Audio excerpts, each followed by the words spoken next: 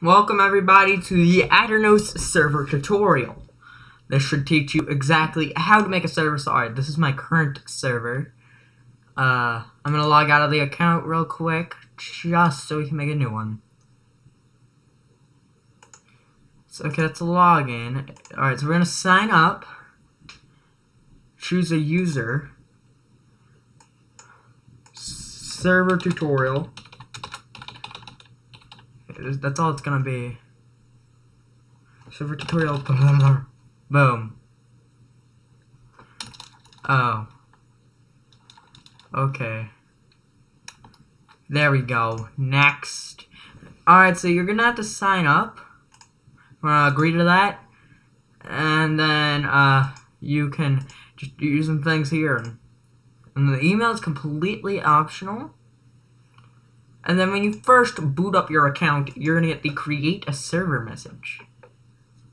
And then you can and then you can choose. So uh, for example, I just use Bedrock since I have it. Obviously, I'm not gonna show me getting on the server, but yeah. And then of course you can just manage stuff from here. Check it out. Anyways, yeah, that's basically how you do the server. And if you want to edit the IP, you you're feel free to can feel free to do that. However, you cannot edit the Aternos part of it and then this will be like your message of the day part of it.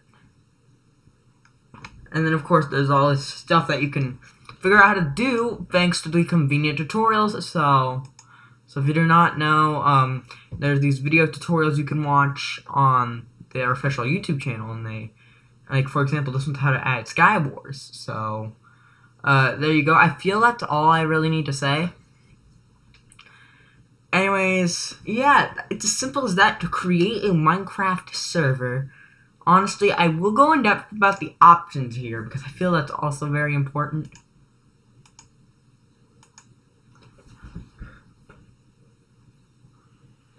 And as you can see, you can get the max players up here. So, for example, we can just up that as much as we want. And we can save it in the game mode. Just create, uh, and then of course, if you don't want mob to spawn, go to peaceful. That should make it easy. Allow cheats? That depends that. And obviously, if you own the crack version, um, you can you can you know manage whether it should have cracked versions allowed or not. Meanwhile, I'm one of those guys who has the official version, so why would I do that? And then the whitelist, and you have to like whitelist people. And then the resource, you do not need to require it unless, of course, you feel free to add some. I do not know really how to do that. I feel that's all the basic stuff you want to need. Um, if you have any questions about this whatsoever, oh yeah, I should probably show up how starting a server happens. So you click start the server once you've got all your software and stuff.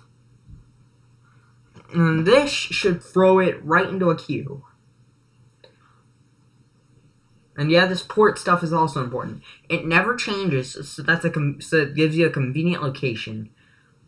And uh yeah, if you want, if it's like something you spend a lot of time on, I feel it's important you download the world before, you know, and then like, you know, convert it in junk.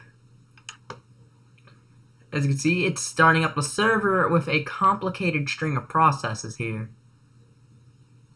And that's really cool here. And then as you can see, it just gave me a notification, uh, but you can't really see it. It's online now. Um, and it stays online for about five minutes, and then, well, from there, that's only when people are not online on the server, so, uh, yeah, there you go. That's really all you need to know, and if you want to stop it and restart it and all that junk, you can do that as well. I feel that's really it. Obviously, I'm not going to keep this account because, uh, yeah. And this is GeoLazer signing off from a tutorial. I mean, this is the first tutorial I've ever done.